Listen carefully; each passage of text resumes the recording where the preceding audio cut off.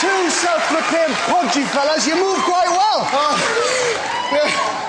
We had the time of our life. Harold, did you press play on the record for Diggy Before you left home? Have you tipped it? Yeah, she's tipped it, it. It's all right. Uh, how was that? Did you enjoy that, laddie? Yeah. It was the best Now, I've ever had. I've got, I've got to ask. Now, all the, the boys you had in the semi-final worked in the restaurant. Yeah, no, no, not the, no, no, no, not these girls. We found them. They were wicked. They were a dancing school. They're much better looking than the boys. they were really good. I've got to say thanks to them.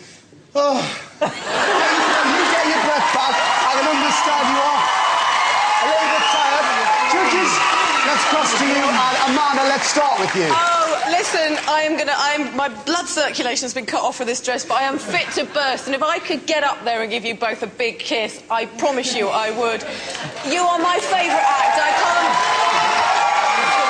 I'm not sure if I'm allowed to say it, but you've been my secret favourites right the way along. I want you to win the show. I love you. And I want people to pick up the phone and vote, vote, vote. Fantastic tonight. It made me laugh my head off for all the right reasons. Well done. Thanks, Amanda. Simon. I thought it was absolute, utter genius. I mean, seriously.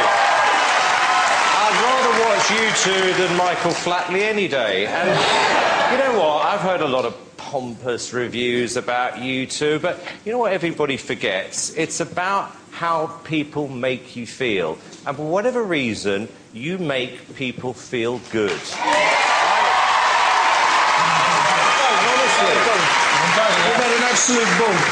It's true, you know, you're as honest as the day, you absolutely adore each other, you've had the best time, you've made us feel great, and it has been an absolute privilege and honour having you two on the show, seriously. Thanks, Simon.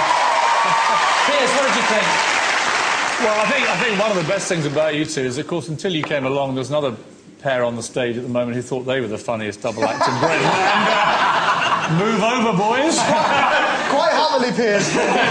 Yeah, I think I'm going to declare my verdict. I still think, I think I wore this in your audition. I still, I still think it would be absolutely hilarious if you two perform at the Royal Variety Show if I were the Queen.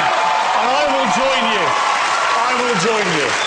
Oh, Piers, Piers, li- seriously, you're the man, yeah? Thank you. Amanda, sagabo, sagabo, sagabo. Is that clean? That means I love you. Oh, okay.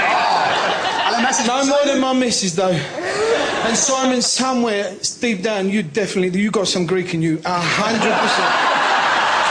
No one is listen. No one is that cool and has is not a bit Greek.